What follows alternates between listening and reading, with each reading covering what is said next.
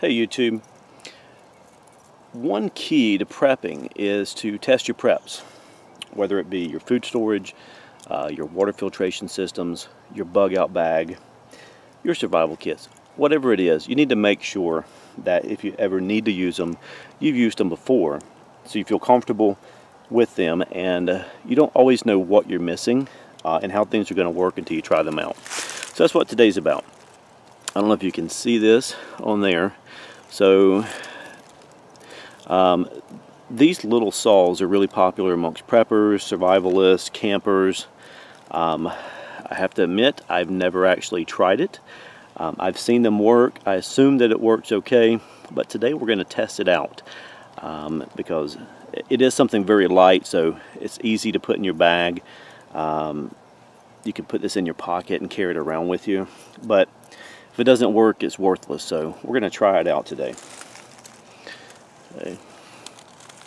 So we're going to make sure that we've got okay got something that I can apply some pressure that'll stay in one spot okay so let's give it a go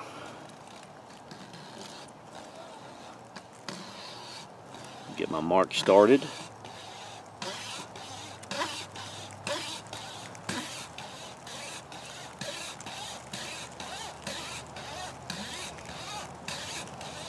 Okay, right away I can see that it's actually working fairly well. Uh, um, I wouldn't expect it to be very fast. Um, so now that I'm trying it, I will say that it, when I do it in the future, I'll probably wear some gloves. Got a little bit of smoke going there. It's getting kind of hot. And it's stuck. Okay, let's try again.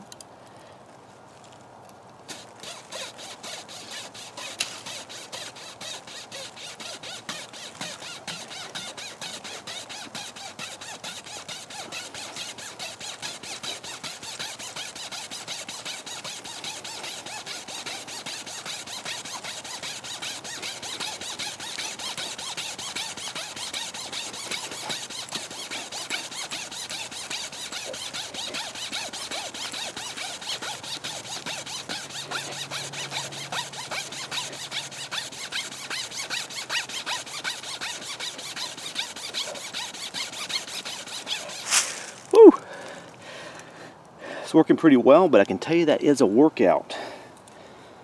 It's almost through. Let's finish it up.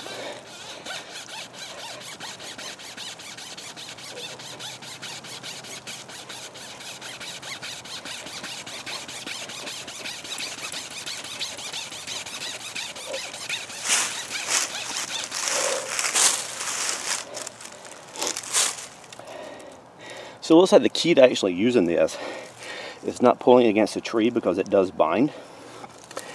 But to use the, mo the sideways motion and just apply not as sharp of a pressure, but a very dull pressure to it.